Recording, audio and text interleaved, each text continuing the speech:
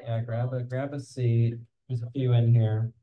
Okay, uh, welcome everybody. Thanks for coming out. Um, my name's Willis, uh, Executive Director at Newtown Creek Alliance. Very excited to be uh, having this event in partnership with COWI today. Uh, got a great lineup of speakers. Uh, and we're really glad to have a, a really good turnout because we also want this to be uh, interactive, fun social event. So we're going to start with some presentations uh, to talk about greening industrial shorelines, um, some examples, some challenges. You'll hear from designers, you'll hear from engineers, you'll hear from community folks like myself.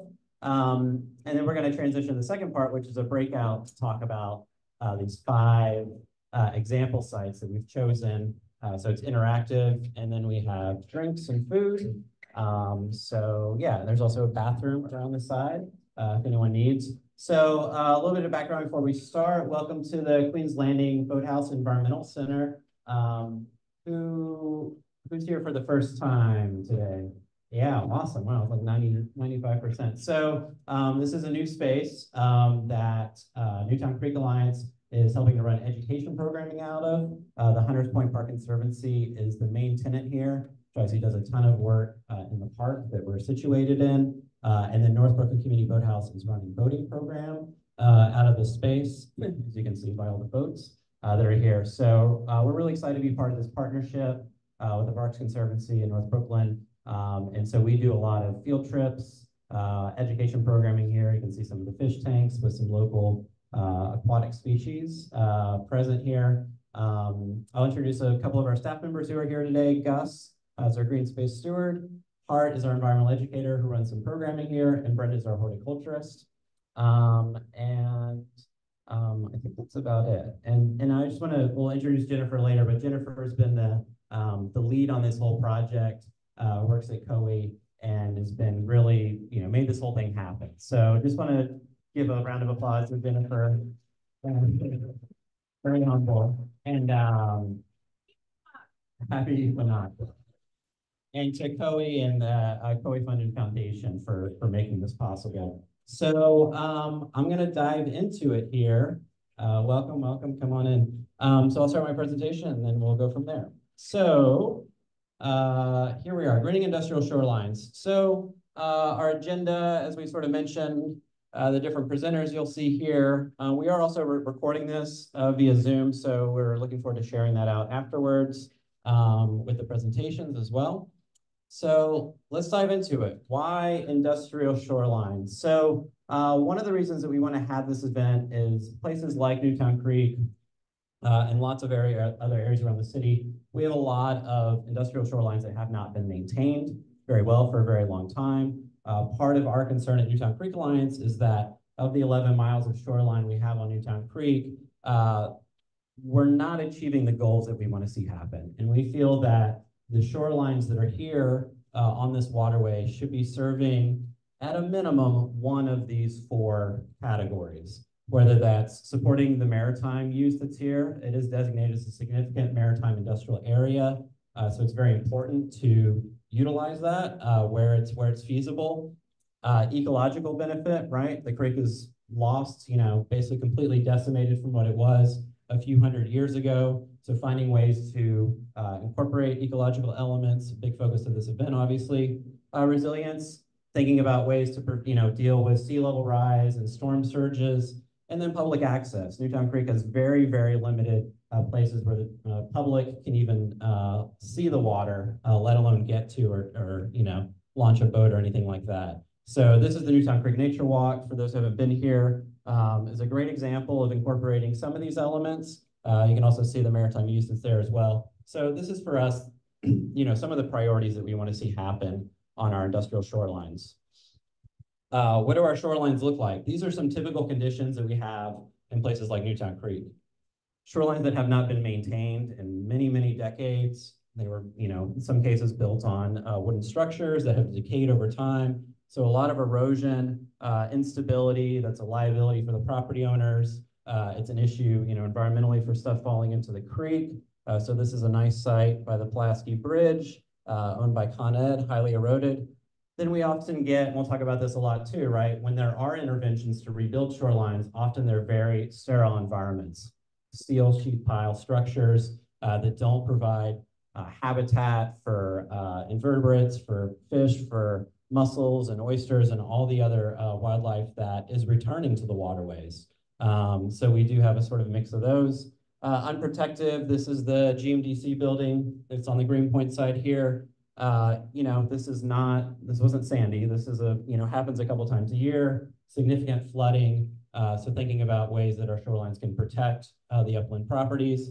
And then, you know, one of the big issues that we have is so many of the properties that are here have literally turned their backs on the water and there's very little access, there's very little consideration uh, for this natural resource uh, in folks' backyard. Um, one really, you know, important thing to understand about Newtown Creek, um, and obviously applies to other waterways like Gowanus as well, is the Superfund situation here. So, you know, the, the sediment at the bottom of the creek is highly contaminated. The EPA is still figuring out what the remediation plan is going to be. Um, but as we've seen in other similar waterways, there's likely to be things like significant dredging, removing of that contamination at the bottom of the creek. And so what that means is that if you have an area like this, this photo on the left, and the EPA is going to want to say remove five or 10 feet of you know, contaminated sediment that's there, if these bulkheads are not you know, securely built, that becomes a structural challenge. And so like in Gowanus, they've done a lot of rebuilding of the bulkheads um, so that the properties are not falling into the water. So that's one is the dredging. Uh, the other is the navigation. As I mentioned, we are a maritime industrial area. So figuring out what the depths of the waterway need to be.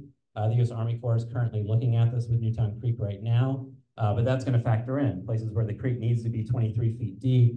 That's going to have some limitations on what you can do on your shoreline. Another factor with Superfund is, is upland contamination. And there's many areas around industrial waterways like Newtown Creek where you have pockets of contamination, uh, whether it was a former you know, oil storage facility or manufactured gas plant or what have you. And product contamination is literally seeping through the shoreline into the waterway. And this is uh, the Greenpoint oil spill um, areas where it's still, unfortunately, we've seen it seeping through. So with Superfund, same thing like we've seen in Gowanus uh, and on Newtown Creek, you can put in your shoreline can act right as a cap to prevent migration to the water. So this is really important to understand uh, as we go forward because it means that there's going to be more attention on the shorelines of Newtown Creek. Uh, I want to go, go through a couple of things that have happened on the creek recently um, to sort of, you know, give a little bit more context. Uh, so a little rapid fire here of a few sites. Uh, this was a site in Dutch Kills, old timber wooden bulkhead uh, that had not been maintained. They weren't using it for commercial purposes uh, for a very, very long time. Wasn't maintained, rotted out. The whole thing fell into the water, uh, which was not good. DEC wasn't very happy about it. It's the state agency uh, responsible for these sorts of issues. So they were forced to reconstruct their bulkhead. Instead of having a flat edge, uh, the state, um, you know, basically forced them to put a more naturalized slope, riprap, and some upland planting area as well. So sort of interesting example of, uh, you know, something goes bad and that the state has the ability, the leverage to make that shoreline a little bit better ecologically. Um, so that's one site uh, worth mentioning. Another that has not gone very well for us uh, was the street end. It's just a block, block or two away from here, Vernon Boulevard. This was a, it's a public site. Um, it's an area that the community had lobbied for many, many years uh, to become a small little pocket park, um, provide some benefit uh, to the community. And um, you can go on our website and see all the different uh, community visions that had happened really since beginning in 2000. Um, and then the city announced their plans to rebuild the shoreline with this elevated wall. Uh, for context, this concrete wall is about five to six feet high. Um, and then riprap on the other side. And we really tried to work with the city. Uh, we worked with Scape, who's here today. They um, put together basically a modified version of their plans to at least allow a little bit more access, incorporate some green elements, uh, so unfortunately, this was a, a, felt like a setback for us because it's public land. We felt like it should have been serving the public's needs and desires. And unfortunately, this is what we have. So not everything's great. um, this is another example. We talked about contamination. So this was a Pratt Oil Works site on the Queen side of the creek. And this photo on the left was um, uh, from a few years ago. And so this was, again, old oil that was seeping out of the old wooden bulkhead there. And uh, Exxon, who had responsibility, uh, worked with the state and they put in a new bulkhead there. And as we talked about, that acted as a barrier and it's been successful. There hasn't been any oil seeping out. Uh, they also did an upland planting, uh, which is pretty nice there as well. So just a few sort of examples of some of the stuff that is happening uh, around the creek. So how do we avoid the sterile shorelines? And this is something we want to talk more about. You'll hear more in the presentations, but you know, I think often, you know, there's a lots of people that understand the value of doing this, of not just putting in a metal sheet pile, um, but also there's there's barriers, right? So it's like we want more people to be thinking about this. Are there financial incentives, right? If you're a property owner, your shoreline needs to be replaced. It's, you know, in many cases up to you to spend the extra money if you want to incorporate uh, additional elements. And this work is very, very expensive. Uh, design innovation, we're fortunate to have some really uh, amazing designers here to talk about solutions to integrate that. Uh, so it's not just a sort of off the shelf, uh, you know, steel shoreline. Uh, permitting and legislation. So obviously the state has a lot of authority on, on what they're gonna allow property build, builder or property owners to build. Uh, so we wanna think about ways that we can, uh, you know, advance some of that on the legislative front uh, or give the agencies more authority uh, to make sure that there's ecological elements incorporated when you're rebuilding a shoreline. And then lastly, uh, NRDA stands for Natural Resources Damagement Assessment. And essentially it's a, a process that happens uh, often in tandem with, uh, with Superfund. And what it is, is basically um, an assessment of the natural resources that were damaged or lost because of the pollution or the contamination. And this is happening for Newtown Creek. Uh, we don't know the full scope of it yet, um, but hopefully there's going to be a pot of money to be spent on restoring natural resources. And so that is a, an opportunity for places like Newtown Creek, as well as Gowanus, uh, to try and get some ecological elements uh, incorporated. Um, I want to give a couple examples of some sort of low scale projects that have happened around the creek um, to sort of get people thinking. Uh, one is uh, the thinking about the cavities and the sheet piles where you have these crevices and being able to use that space for something. Uh, so this project on the left, uh, Gary, who I don't think is here yet, um, has been has been testing out, just basically creating a structure, and they used actually the shells of mussels to create a mold uh, because mussels like to grow in mussels, um, and they like all that little crevice and texture. So an idea about how you could incorporate that. This was a sort of similar idea about, this is not built, um, but how you could have some very simple interventions uh, by, you know, potentially welding metal. You could also do this in the design when they're installing the sheet pile. So you could use that cavity as a little planter space uh, to put some of the native salt marsh grasses. This was a project we did with Riverkeeper a few years ago. It was also making a structure that was going to be good for things like mussels and then these were actually suspended from the top uh, into the cavity. So they were very non-intrusive, um, but also not permanent. Um, and then lastly, some work that we've been doing uh, with LaGuardia Community College. I know that Professor Durand is on our way here, and also Carter Craft, who's here, uh, has uh, taken a very active role in. And so this is the same thing, creating boxes that'll sit uh, in the intertidal level filled with the native Spartina grasses. Uh, so think about ways you can incorporate that going forward. Um, that's it. Uh, this is a beautiful marsh. John McLaughlin just walked in from DEP um, that John helped create in Dutch Kills. Uh, this is an industrial area and you know an example of how you can find creative areas to uh, to implement some of this. So I'm going to pass it on to our next presenter, uh, uh, Matt from COWI, to talk about things from the engineering perspective.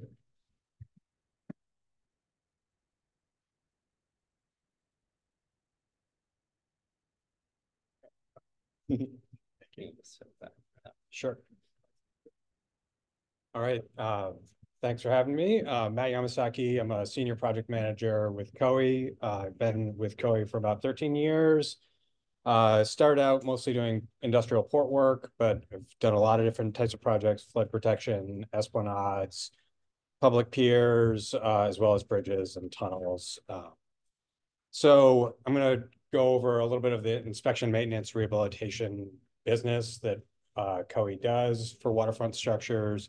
Talk about some conventional rehabilitation methods and then talk about a, a slightly different project over at the MCT uh, Manhattan Cruise Terminal where we're doing uh, oyster sleeves on piles uh, as a demonstration. And I know we're talking about Newtown Creek today, but uh, I kind of like this picture of the Navy Yard to talk about uh, changes for industrial waterfront. I mean, this is still a very active industrial facility. You've got Lafarge, GMD, shipyards, but it's also, this is a little bit older. And I think, you know, the WeWork commercial office, there's some public, uh, public park space now, the citywide ferry. So I think there are a lot of really interesting changes happening uh, for New York City's waterfront, uh, you know, all the time. And um, so a statistic a lot of us are familiar with at this point, 520 miles of shoreline in New York City. Uh, maintenance is a constant consideration. Bulkheads, piers, pile supported structures uh, are all on regular inspection cycles. The city has their own uh, standards for that uh, that agencies like the EDC uh, use for projects. Um, and, you know, this is a lot of what we see, you know, just very dilapidated structures. Uh, things do not uh, hold up the life cycle in, in the marine environment. Uh, the, the, deterioration is a lot faster than for upland structures. You have salt water that uh, is uh, uh, breaking down concrete, corroding steel at an accelerated rate biological decay for timber structures and marine borers. Um, so sometimes this kind of stuff can be a little bit shocking for people who don't do it day to day, but this is just kind of like an everyday thing. And, you know, these regular uh, inspection and maintenance cycles are just part of keeping everything structurally sound. And, you know, conventionally, that can be quite sterile. So I think a lot of what you're doing is just pulling out the old uh, deteriorated elements and replacing them. So, you know, you've got a corroded steel pile, you're putting in a new one that might be galvanized or uh, cathodically protected to slow corrosion. But, you know, it's a lot of just pulling out the, the old and putting in the new. Um, chemical treatment or polymer wraps, that's another uh, way that we protect uh, structures. But, you know, it, it does tend to be, you know, quite sterile uh, you know, which for an industrial facility, you know, is not anything that you might notice. But so this is something, uh, a project. Oh, sorry, I'll, I'll hold the, the mic. Um, so this is a project uh, over at the Manhattan Cruise Terminal where we're doing something a little different. Uh, so this is Pier 88. Uh, it's an, an active cruise terminal, uh, very, very important facility for New York City tourism. The Intrepid Museum is right uh, down the river there at the next pier. Uh, so it's just a demonstration project. So we have eight or 10 piles here that we've encased just conventionally, uh, steel piles that got concrete encasements. Uh, and then these sort of uh, bands on the piles that you can see are oyster sleeves. So, and then, um, uh, sorry, let me back up. This was something that we, where COWI partnered with Billion Oyster Project and uh, intertidal habitat. It grew out of a PhD work that Andrew Rella did uh, during his time at Stevens, uh, where he did a similar demonstration project in Hoboken. But this was an opportunity to test it out uh, at an active um, industrial or uh, an active commercial marine facility. So you can see the oyster sleeves on the um, on the piles there, and then there's this these uh, wave pumps that sort of passively move up and down in the uh, tide cycles or in wakes from ships, and they're intended to circulate oxygenated water further down into the water column to promote oyster growth uh, uh, at deeper uh, depths. So we'll, we'll get to those in a second. Um, so the project was constructed in 2021. So these are the sleeves.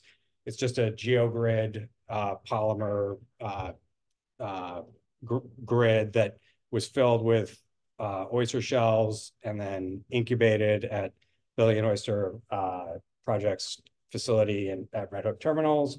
We spent a couple of weeks in a tank there uh, to get the spat to attach to the shells. And then you can see on the right um, that they were installed. They've been out there for a couple of years now. And then um, the uh, that's the wave pump. Uh, we'll get to that in a second. It, it's a little bit of a, I don't know, Mythbusters kind of junkyard creation, but uh, it was it was interesting to see that come together. Um, so the the project has been successful so far. We've done one cycle of monitoring, uh, and there's four more between uh, this spring and the fall of 2025. We're they've found adult oysters growing within sleeves, uh, you know, really healthy growth. Uh, and this is you know a very active facility with heavy siltation. Um, we haven't seen them grow beyond the sleeves yet, but we're interested to see if they are something that propagates uh, uh, to a, you know, to other piles at the facility. And then the wave, the wave pumps were not quite sturdy enough for the environment. They did end up failing, but it, it turned out that they weren't needed, that the oyster growth is healthy all along the, the height of the sleeve. And, uh, and, you know, New York is, was once one of the major oyster habitats for uh, North in North America. And so it's just turned out to be uh, something that just wasn't needed to promote the growth. I think one of the big takeaways, I think for people who work on the waterfront, this will be no surprise. Uh, permitting was is definitely an ongoing consideration. Uh, to to have the sleeves out there, there's an ongoing permit that needs to be maintained, and if the permit expires, then oysters have to be removed, and nobody wants that. So there's this ongoing per, uh, permit maintenance, so that we work with the EDC to to keep going. So that uh, is uh, that's the project. I um, I think you know this is a small project, but when you think about the many many thousands of piles over all the pile supported structures in New York City, you know if this becomes an example for other facilities, you know there's a lot of potential to make rehabilitation look a little different going forward. So. Thanks, Matt. Yeah, that was really great. So next up, we have Gena Wirth from Scape Architects. Give a presentation and some examples that uh, they have been working on as well. All right, you want to? Yes.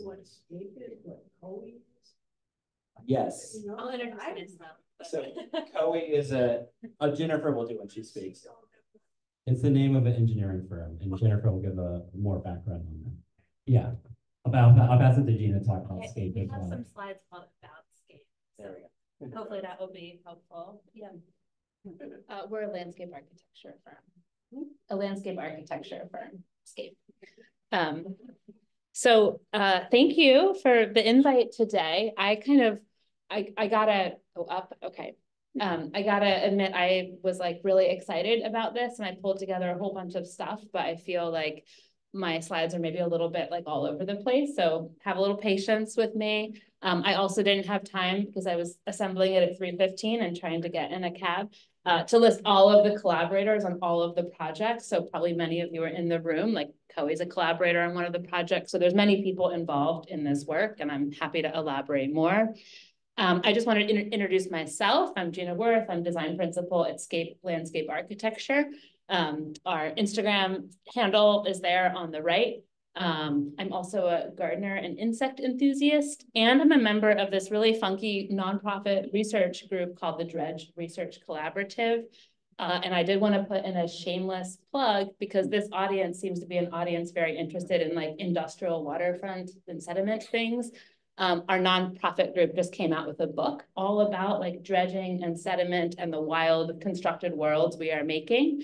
Uh, it's highly illustrative and it has a whole chapter on New York City. So that's all I'll talk about today related to that, but I did want to share because it's a, a labor of love. Um, but I did want to talk about Scape and who we are.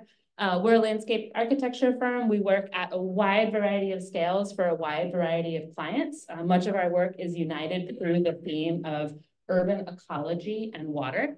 So we work for public clients, for private clients. We're actually working next door here at Newtown Creek for a private developer. Um, but for the most part, we're building publicly accessible landscapes. That's our priority. Um, we're landscape architects, urban designers, planners, horticulturalists, uh, and we have three offices all nested in different water-based urban environments. San Francisco, um, New Orleans, and uh, the work I'm going to share today is out of our New York office, which is our home office and where I live. So we work all over the country. We try and bring these different goals to all of our projects, being ecologically aware, being highly collaborative, collaborating with engineers, with uh, community advocates, with different agencies. Uh, we try very hard to think at the system scale, even though sometimes our sites are very, very small. Uh, and we try to think very much and work with communities directly um, on our projects. So I'm going to share a wide range of things, starting with some um, earlier work and recent recent developments. I have cheated. Not all of my project sites I'm sharing are industrial sites, so mm-hmm. I'm just going to put that up front. Um, but uh, talk a little bit about uh, the importance of like constructing ecosystems. So, so Willis and Matt shared some earlier work on how to construct or reconstruct bulkheads and edges to add more opportunity and diversify the physical structure of those elements to add opportunity for habitat that's very important in our projects. Um, and very early on, when I first started at the company, we had some like very like big picture ideas on how to do this. Uh, this was a project called Oyster Texture that was proposed for the Gowanus Canal, thinking about the urban ecological habitat of oysters. This is a pilot oyster reef many years ago in the Bay Ridge Flats, which ultimately helped kind of seed the Billion Oyster Project. Um, thinking about how important it is to bring these species back to New York City's urban shorelines thinking about the life cycles of these species and how at different phases in the life cycle, the species could nest itself within the urban environment of the constructed edges of New York. So here was a kind of thought with this project about how oysters could be raised and grown in portions of a cleaned up Gowanus Canal and then brought out to wider constructed, constructed harbor areas uh, and seeded in like large scale oyster reefs to protect the city. Um, this was like a museum exhibition concept. It became reality uh, in a very different way, in a very different context when we um, advanced our project called Living Breakwaters, whose COWI, uh, the engineering firm, is a partner on, along with many other talented engineers.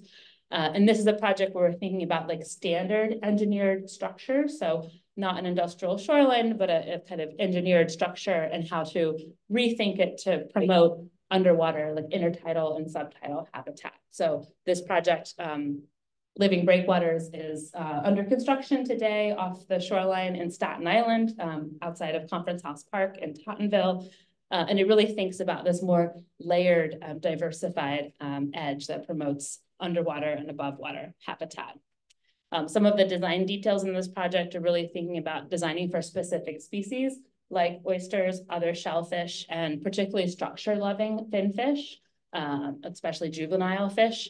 And so some of the techniques, like typical breakwaters, are very linear. Um, our forms are modified slightly uh, and then modified to add more localized um, site scale, scale complexity and micro scale complexity. And they're oriented with these little fingers that we call reef streets towards the waves so that the sediment doesn't build up within the um, reef streets and creates more porous habitat and maintains that like micro, the micro texture that's really important for juvenile fish and other shellfish species.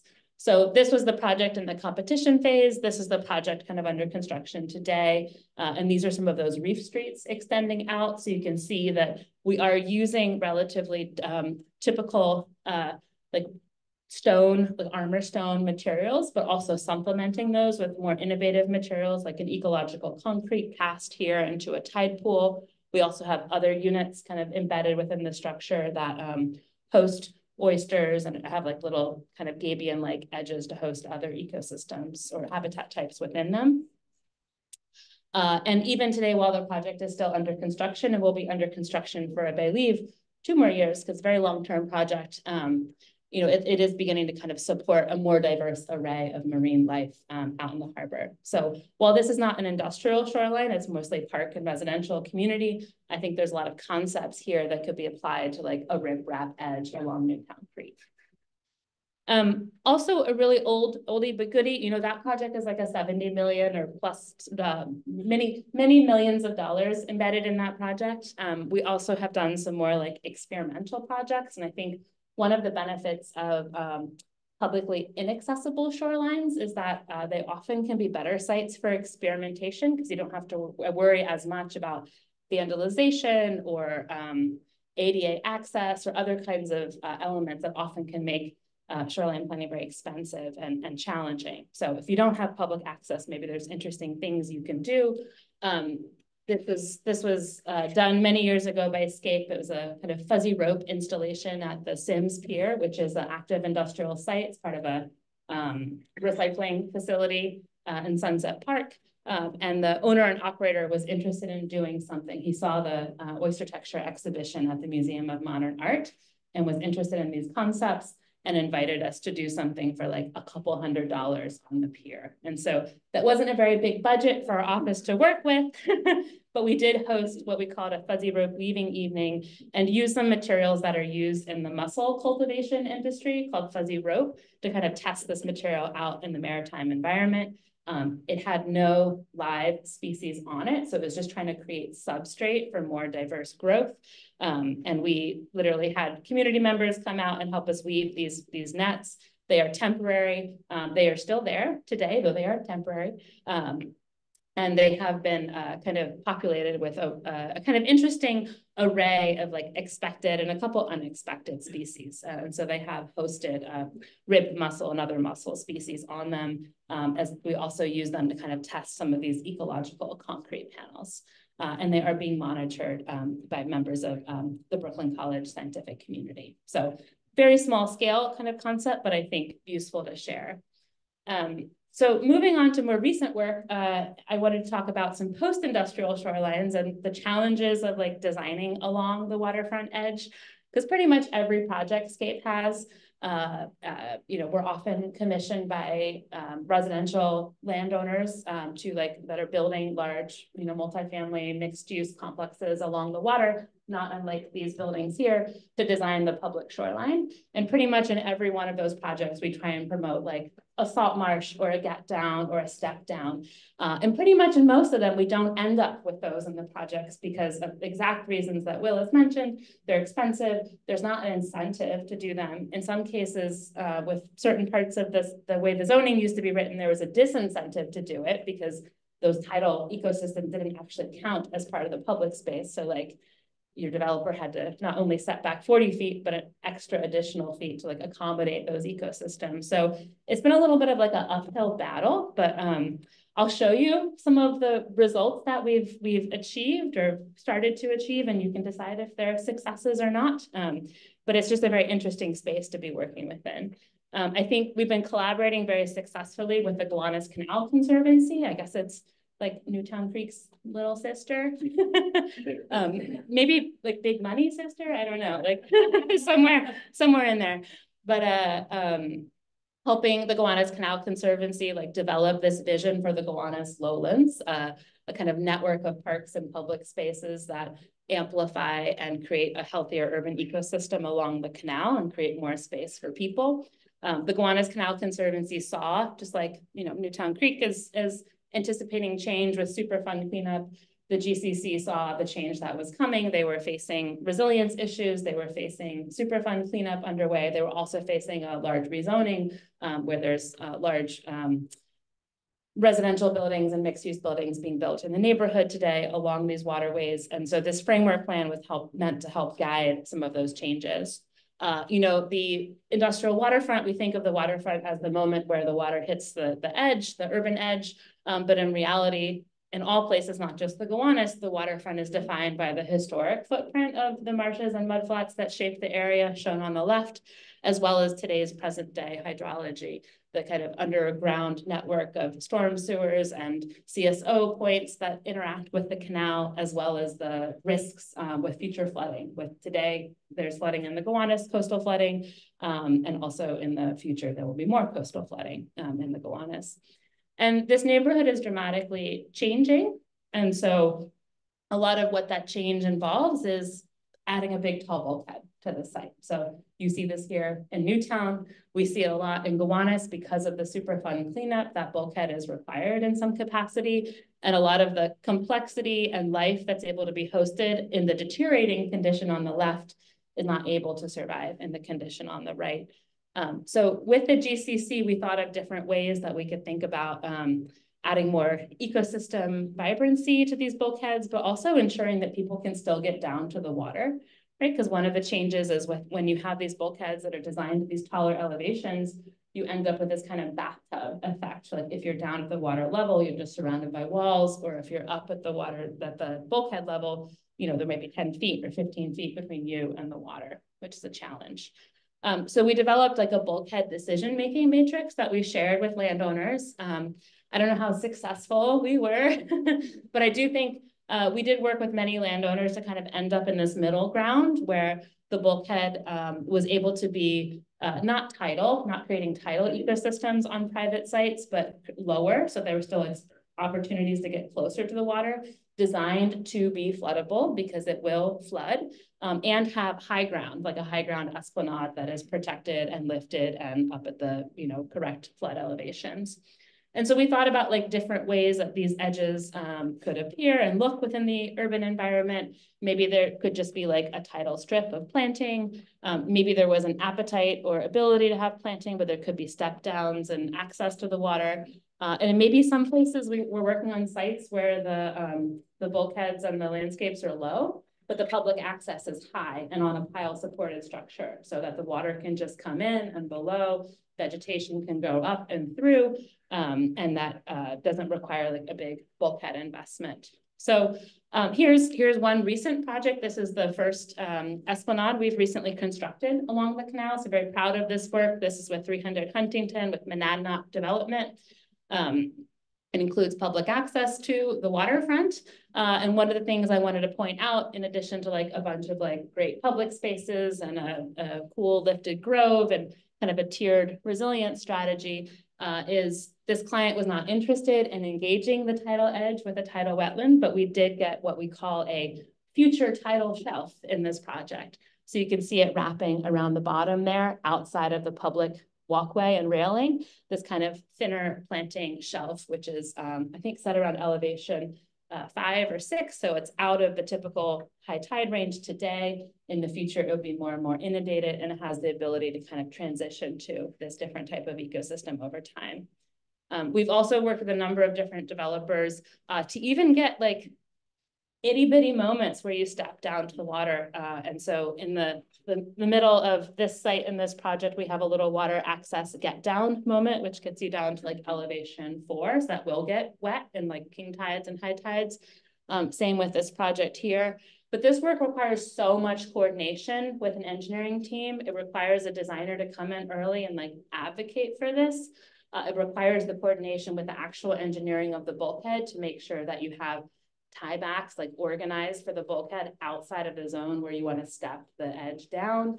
Um, and so it takes like years and years of like pre-thinking. It's not difficult, but you have to like do it and you have to be at the table at that moment for those things to happen. Um, we've also had more great successes with um, some of our public clients uh, who are more aligned in terms of um, being interested in investing in ecosystem design. And so um, at the Gowanus CSO tank facility in Salt Lot, where our client is the DEP. Um, this is a large site where a, a combined sewer uh, storage facility is like a big tank is designed below this entire uh, landscape or portion of this entire landscape. There's um, kind of building and other elements on the site. There's also the future home of the Gowanus Canal Conservancy and some composting operations.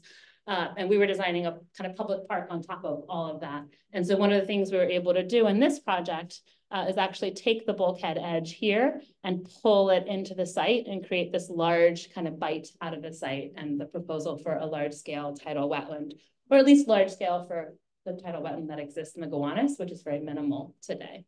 Um, so I see this as a real success and it's really to DEP's credit that they um, are you know, kind of both advocating and advancing this design concept um, that does incorporate tidal wetland ecosystems and that gradation from shallow water to upland uh, transition zone into the design. Um, I also wanted to just call attention to uh, the little canal get down at the very top right of the screen in this project, because I think the way these urban industrial sites change over time is like really interesting, also kind of heartbreaking sometimes to watch, you know, like, because this was a site that was a kind of like impromptu garden that the GCC developed. And I think there's many spaces like this at street ends at the end of the Newtown Creek. Um, street ends are often like these contested spaces where all the agencies like kind of have their own goals and nothing's really coordinated. so they're very difficult to work within. Um, you know, so if you're like a landowner, the image on the right is probably terrifying to you because it looks like your site is eroding away. It looks like a public hazard. Uh, you know, if you're a kayaker, it's awesome because you can get down to the water. Someone stored their boat there. Um, and, you know, this is also the site where like a little tiny salt marsh was developed. Uh, this is what this site looks like today, right? So this, you know, if you're a coastal engineer, you're like, thank God, this looks awesome. Like it's secure, it's stable, it's not going anywhere. It's supporting this future industrial facility. But, you know, from a boater's perspective, it's like not the, um, not the greatest. From a habitat perspective, it's like obvious what's happening. Um, and then this is the future proposal for the design at this, at this piece, which is in the project. Um, we're actually proposing to like re redo that portion of the bulkhead within this piece of the site, cut it down, cap it, and create this like public access ledge with planting and stone stabilization. So it's kind of a, a repurposing of this existing bulkhead edge into this new um, kind of public access condition. So just because it exists today doesn't mean it can't be changed. Um, and then I'll just wrap up because I think I'm over time. Uh, this is just one final project at um, uh, Bush Terminal as Pier 6. Uh, this is a project that's still in active design process. Um, it's a five acre filled pier that's being transformed into a park. Um, but I, I wanted to just showcase it today or end with it because it does have all these same like erosion and deterioration issues um, that many of the edges of the uh, Newtown Creek has. Um, but our concept plan for this project has, I think, a really beautiful and interesting kind of park program moving forward on most of the pier. But we've taken a portion of the pier, the forested part, and um, we're calling it like a process of designed erosion. There's likely going to be some kind of um, like stabilization line kind of drawn in the sand. And then this forest is going to be allowed to like erode over time and remain as inaccessible kind of habitat. Um, and so it doesn't become, um, you know, an expensive thing to like upgrade or stabilize. It's, I think the, the kind of whole idea here is like maybe less is more in some conditions and context. So um, I'll, I had like a bunch of summary points, but I think I've gone a little bit long. So maybe I'll just like wrap up there and we can talk about these later over drinks. Thank you. Well.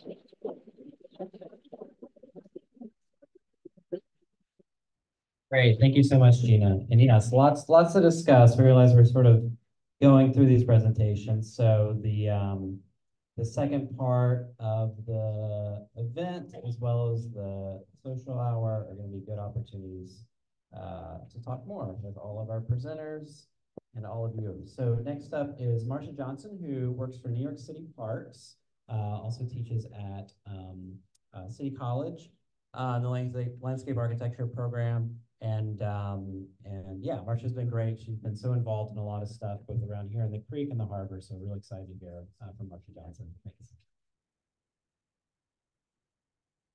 Thanks, everybody. It's good to be here. Um, can you hear me okay? All right.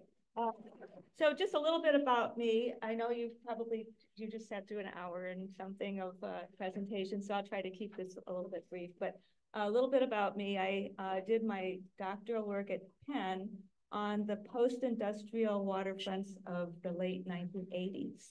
Before we had the Hudson River Park, before Brooklyn Bridge Park, a lot of those post-industrial edges were naturalizing. And so I looked at the ecology of those wilding areas of post-industrial waterfronts. And then I've been thing over the last 30, 40 years, how they have into the design uh, features that they are today. So what I'm going to do is show you a few park projects. Let's see. What am I doing here?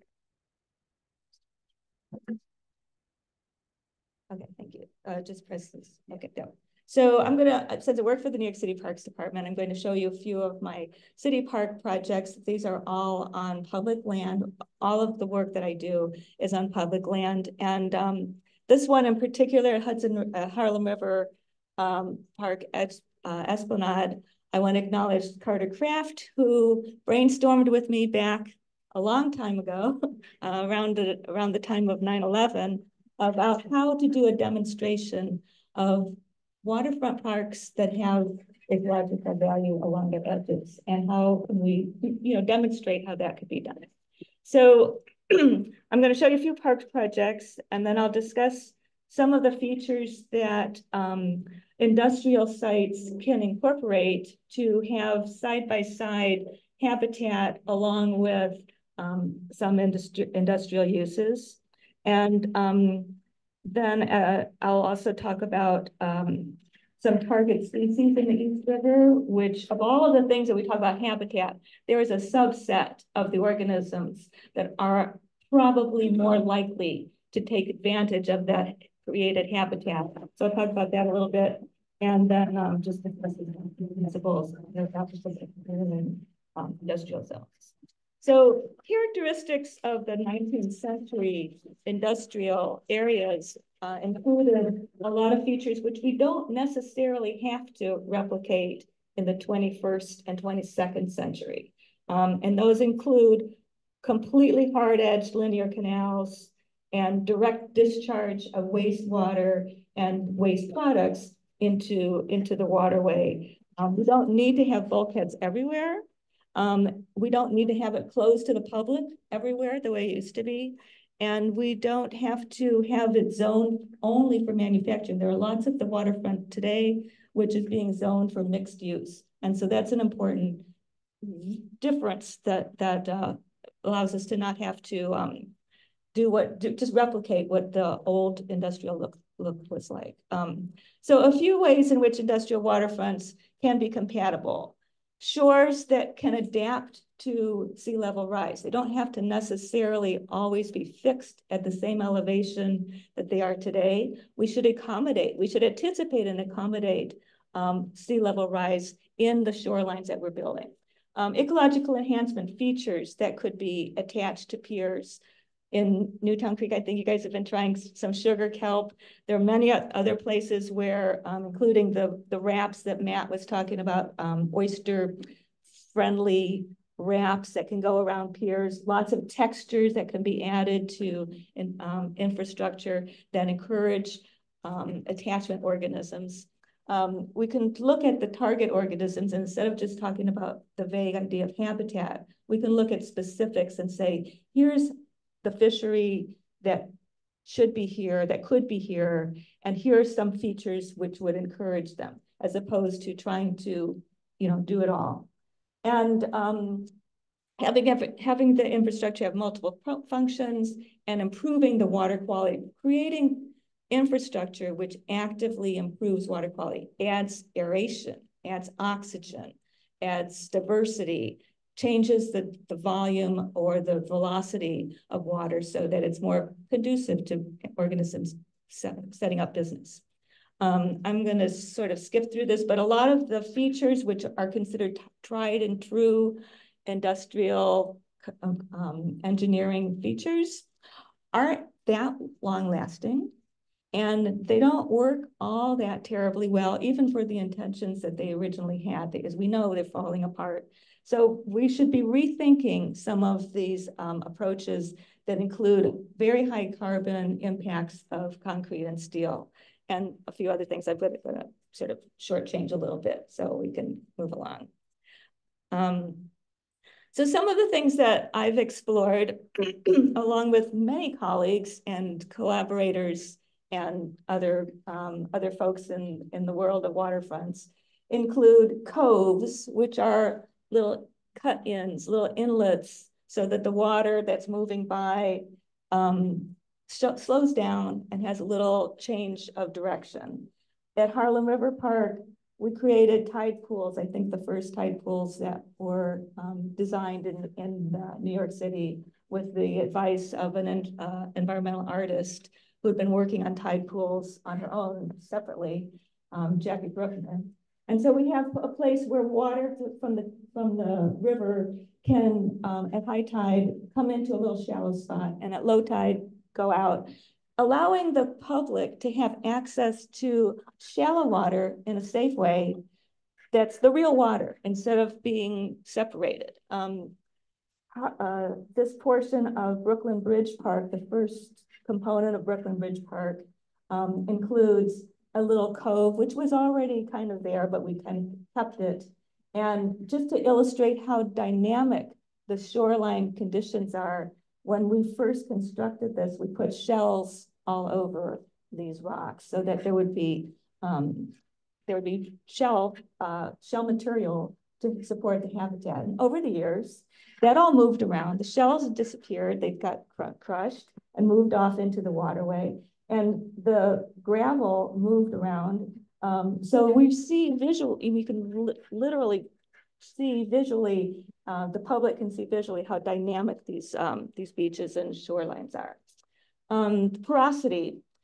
Along Hudson, the Harlem River Park, um, the bulkhead was replaced with um, gabions. So these are boxes of net netted uh, boxes of rock with oysters and shells on the outside to encourage a living crust of organisms and provide uh, flood, storage or river water storage in the footprint of the park instead of repelling it and keeping it out, allowing it to be part of the floodplain. So coves, porosity, and um, floodplain function. This is Randall's Island, living shore during construction. This is a phytoremediation project. There was contaminated soil on this site. Phytoremediation is a big word that just means you use plants to cleanse the soil, cleanse water or and or soil. And so we planted a variety of different kinds of um, plant communities, all natives, to try to bring down three common contaminants of what's called historic urban fill. All along many of the shorelines, we have a rep repetition of the same kinds of contaminants. Lead, mercury, and PAHs, which are carcinogens, are among the most common ones. And they're also the ones that we, we really worry about because they have a direct effect on human health.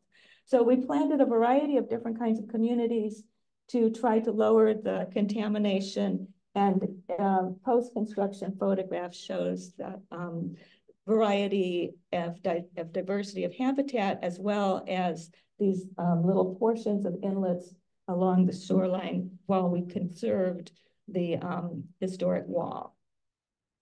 Uh, we provided um, along the shore, we uh, consulted with ECOncrete to create these, um, a series of tide pools, they were intended to work as a system so that you would have three or four together replacing some of the stones. That didn't turn out to be as easy, easily installed as possible. So they're, they're more or less separated and singled. But oh, next to each one is a tide, um, is a survey marker. So you, the general public, could go and take a look and see what the tide level is. And over time, and these are at different levels, um, the idea was that people would be able to educate themselves about what it's like when it's high tide. And 20 years from now, high tide is going to be at a higher level. Um, along the shore, we have this existing wall with this unstable top. So we took the unstable stones and made terraces and used bioengineering techniques where you put living plants in between non-living elements to create a series of terraces. And this is kind of what it looks like now one of the things that I've been very interested in about for a, a long time is how do animals adapt to turbulence and you know really um, adverse conditions in the intertidal zone, and how could some of those ideas be added to the architecture and engineering of infrastructure. So just a few ideas. Uh, if you look at the way many shellfish are that are attached uh, to rocks, uh, the, their shape is streamlined so that water flows off. Also, many of them are corrugated, like they, uh, the, you look at them from plan view, they're, they have these little edges. So a very thin shell is made stronger by that just the way cardboard is corrugated makes it stronger. And one other thing about um, these intertidal zones is that many of the organisms have sacrificial arms or elements. They, it doesn't, they don't, they're not set up to remain uh, stable. They're set up to um, lose a few um, things and then be able to regrow. If we could figure out how to do that in infrastructure, so we have some self-repairing. There are some materials which are self-repairing. There's some fabrics which, when you puncture them, they pull together and they just close up that puncture. That would be a very interesting thing. It would also maybe get us away from having to build massive, bulky, expensive structures. One other thing to uh, kind of note also is the inland migration of shorelines. I think there's a lot of misunderstanding about erosion on the shore. Usually uh, in any kind of uh, waterway, sediment moves from one place to another. It doesn't disappear. When we think of erosion, it sounds like, oh, well, we lost the beach. We lost 40 feet, 40 feet of beach, or we lost this, you know, this whole cliff just collapsed. That goes somewhere. And after Sandy, there were some photographs taken that show very clearly the inward migration of our beaches. So here is before, and here you see the sand moved up onto the um, onto the uh, the beach berm. Here, the beach moved up into the neighborhood, and that was was described as erosion. But in fact, it was just trying to move inland, which is what things, what shorelines do during periods of high of um, sea level rise. If we could accommodate, if we could figure out how to move our shorelines, create shorelines that are adaptable to moving inland, we wouldn't be fighting against the ocean as quite, quite as much as we're doing now.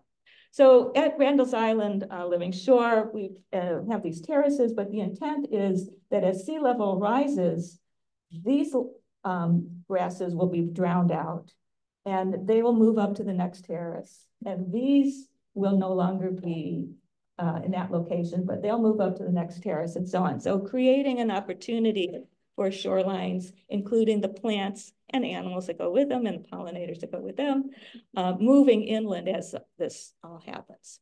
Replacing some natural floodplain functions. I'm going to just skip through that. And adding, adding ecological value to hard infrastructure. So during the pandemic, our engineering group asked me if I would do a little research um, on what could be stuck onto walls, added to piles, to um, not have to change the engineering, but would just you know add a scrim or a screen of of additional um, ecological value. So I did um, a, a, bit of a research project. I looked at the what has been done around the world, and here are just a few of the things. Some of these have, have already been done in New York, New York reef balls, in which water, as it goes through these underwater hollow balls, um, is actually sucked through the water, uh, sucked through the ball. So it, it creates its own kind of circulation because of the way those openings are shaped. Many places have tried putting textures onto um, structures in order to get um, algae such as this vulva on ulva on there and uh, then other organisms attach themselves to the algae and eat it and so on like this. There are many uh, types of textures are effective, effective that way. Talking about the fuzzy ropes, uh, one of the things that's a really hot topic in this area is, is supporting eels and the baby eels, which are called elvers, with um, what look like fuzzy ropes or ponytails. Um, they're um, uh, or, uh, called eel mops, and they provide habitat and hiding places for these little tiny clear eels. And that's one of the, one of the organisms that is um, uh, of high concern in this area. This is from Seattle, where they were concerned with salmon um, runs. And this is a glass above the seawall that lets light come in here and uh, has created a very effective um, way of supporting salmon moving through there, uh, young salmon feeding on those walls. So what are some of the organisms which are in the East River that might be most likely to take advantage of some of these things? So this is a, a chart of many of the fish uh, finfish that are in the East River. Of those, and I interviewed a handful of uh, fisheries experts. And we came up with this list of what's possible, possibly worthwhile to put, uh, to put our attention to. Eels, oysters, we already know, talking about oysters and mu- uh, mussels and oysters and other shellfish that are filter feeders. But there is also the biofilm microorganisms that come onto things like the fuzzy rope and onto textured uh, fab, uh, fabrics and other textured uh, structures.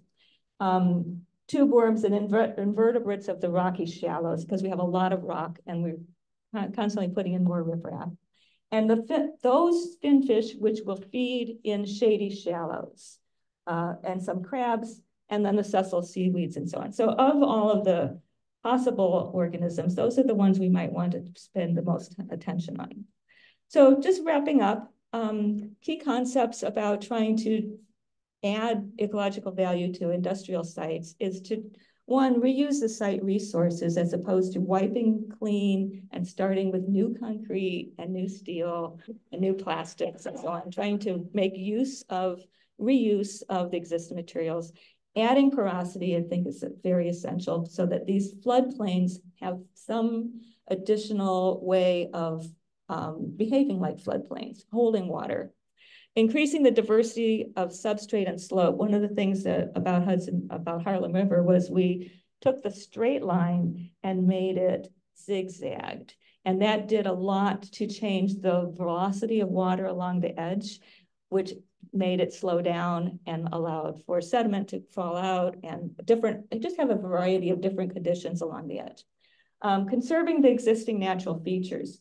All of these Superfund sites that I'm familiar with um, aren't trying to conserve any of the natural bottom or edge or anything. It's like camp it all, build brand new, get it all clean. While I respect the perspective of doing that, I think it's also essential to start to look at trying how can we conserve some of the natural features while we rebuild the urban uh, edges and make everything have a have a value in terms of um, adding to water quality and of course planting native species in communities. So I'm going to stop there. Thank you for the question. Thank you. All right, thank you. I, I just want to have, I just have to say, uh, I want to also acknowledge the funders for many, many of these projects, which include the Depart, State Department of State, uh, the Parks Department and Randall's, um, Alliance, Randall's, Randall's Island Alliance. Thanks. Great. Thank you so much, Marcha. Yes, fund, funding is always, uh, always critical. So, um, thank you all. We're gonna transition to the second part, the breakout group. And so I'm gonna introduce, uh, my partner in crime for this event, uh, Jennifer Norton to, uh, give a little intro to the breakout and what we're gonna be doing. And yeah, it. And I'll also give a more thorough introduction to COWI for those who are unfamiliar with the firm. Thanks, Jennifer. All right, on COWI, so my name's Jennifer. I'm an environmental specialist with COWI. Oh, you can't see everyone. Hey, in the back, in the back. Um, I'm an environmental specialist with COWI. COWI is a Danish engineering firm. In the United States, they mostly focus on structural elements of design. So bridges, offshore wind, um, tunnels, uh, marine hard structures, and I'm in the marine group. My back, so that's COWI in Europe and Scandinavia, they do all everything we're talking about here, and it's a little bit more broad reaching in North America at structural engineering. So today I'm going to bring together everything people talked about and try to shepherd us into why we're here and getting your feedback on these five sites that we have uh, up across the room. So my background, I've worked uh, nonprofit management, for government, municipalities, managing stormwater, uh, from monitoring to construction planning. And then now I am an environmental specialist within a marine engineering group. So the what they're asked to do is very different than what you're asked to do when you're planning for a watershed or when you're a city who has to answer to the state. So um, the purpose of this event was twofold. One, to network, to, to have all of you guys bring your energies across the chasms where you work, whether it's uh, education, ecosystem function, hard structural marine elements where you want to make sure that the, the waterfront stays where it needs to stay. We want to bring that information together and get your insights on how we can incorporate green elements into these sites we have across the room. So I'm going to quickly walk through that. So again, after today, we're going to capture all your thoughts and put it in a matrix and share back to you all a matrix of insights for how we can get more green elements in up to our industrial waterfronts. So that's number one. And then number two, we also want to get examples of partnerships you've seen that are successful or products that you've loved. Uh, both uh, and Gena were both giving examples of project uh, products that I already have listed. So we want to grab more for both for owners and public projects. All right, so that's what we want from you. You want your insight, we're going to create a matrix, we're going to email it back to you. Let's uh let's be honest and I'll quickly run through the challenges when you're doing developments on the waterfront. Marine infrastructure is very expensive. It is like why you're talking millions and millions and millions and millions of dollars. So it's very challenging much less when you start adding in the cost of cleaning up contaminated sediments or not removing them and how you incorporate and work with them. It's just very expensive. So that's one challenge. When you're monitoring ecological elements, this when you put an ecological element on the project, the state wants you to monitor it, which is great. We want that data, we want that information. But that's a whole another administrative uplift that an engineering firm or a landscape architecture firm may or may not be equipped to manage. And so it just adds this element of complication. If it's not brought in early, it can really inhibit a firm or a public planner wanting to incorporate that to a project. I have recommended reef balls on a project and um, I think I'm talking fast. I think I'll slow down a little. Okay. I've recommended reef balls. He's like, go, go, go. I've recommended reef balls on a project and had a public client say, we can't monitor them. Safety is a, a big challenge. Um, some sites do not need public access, but they could still have opportunity for ecological enhancement.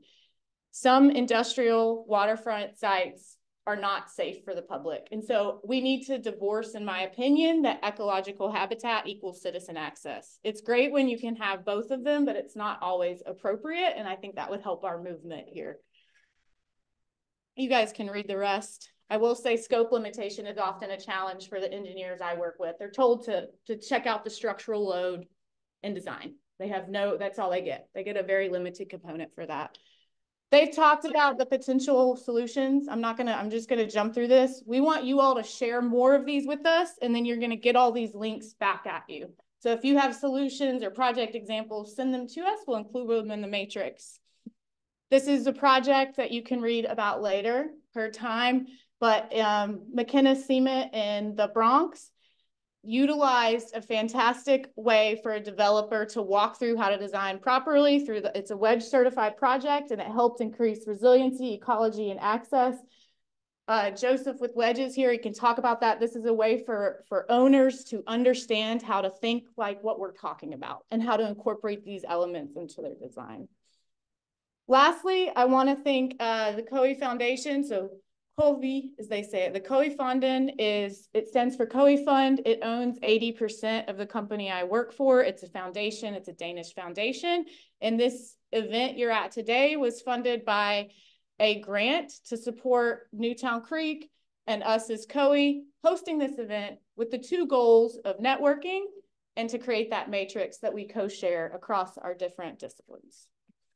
All right, let's get to it. So for the scenarios, we have uh, we have listed basic shoreline type, and then we've zoomed into the habit, the opportunity we think is present via habitat, habitat and public access. There's a maritime need, or what else could happen.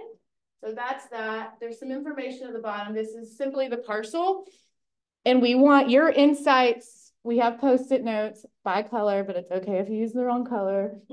For maritime use, ecological value, public access and resiliency. And really what I would love to glean from your mind, which is really not easy to do, When you look at this site with your professional background, what's the first question you ask? Where's the closest compost site, right? Where's the closest uh, access for the channel? What, what questions come to your mind when you think about adding in green elements? So that's that. And then secondly, we want you to share with us these overall solutions that come to mind. Again, the project specific and partnerships. That is all I have. I will say there's landscape architects in the room, there's educators in the room, there's community players in the room. There's a engineer, diver, and marine engineers in the room. So have at it. And Willis, I'll let you take it back. Great. Thanks so much, Jennifer. So, um, so we're gonna start our breakout. We'll just, um, move some of the chairs. Um, so again, these are five different sites that we chose. Uh, they happen to all be on Newtown Creek. And, um, there's also some great maps that are around, um, here as well. So there's a few, there's one here and another one here that show some of the floodplains. They show where these sites are. Uh, because that's another thing we want to consider is that not all these, you know, whatever you see here that inspires you, this might be, we might be thinking about habitat, but the site might also need protection from sea level rise. Um, also want to give a couple more shouts. There are two of the property uh, owners in the room at least. Um, so if you have questions about some of these sites, uh, you can chat with them. Uh, also want to, our other staff member Sandy is here and Sandy helped design a lot of the posters and visual elements as well. So I'm gonna give Sandy a shout out. So um, that's it. So we'll have breakouts, use the post-its, and, um, and you know, let's fill these in with things that you see as opportunities for, again, whether it's resiliency or, or habitat or access. And again, we're not saying that all these sites have to fulfill any of those. You might say there's no opportunities for doing anything creative here, but we want to, um, you know, think about all this. So, yes. So the red line, is, does that mean it's a one length? like That's the all of parcel. That's, that's the parcel. So we're looking specifically at these sites because they're, they're owned by one property owner. That's Not gonna be anything built on that, or that that's It- it- for the project. Yeah, um, you're, we're assuming that these, all these facilities are gonna remain in their current uses. And so thinking about what are ways that maybe you could add some elements into the shoreline structure that might be beneficial for some habitat, or maybe there's something else. I mean, they're challenging. Some of these are very challenging sites, which is, uh, the nature and why we sort of chose them. So Jennifer and I will float around and we'll also help provide a little bit more context about some of these. Um, but feel free to go crazy with the post-its, put them up there, write your ideas, draw your designs. And, uh, and then also we have, uh, beverages and food in the back as well. So does that sound good? Any other guiding questions? All right, so we'll get started. We'll move some of the chairs out and uh, go from there. Thank you all.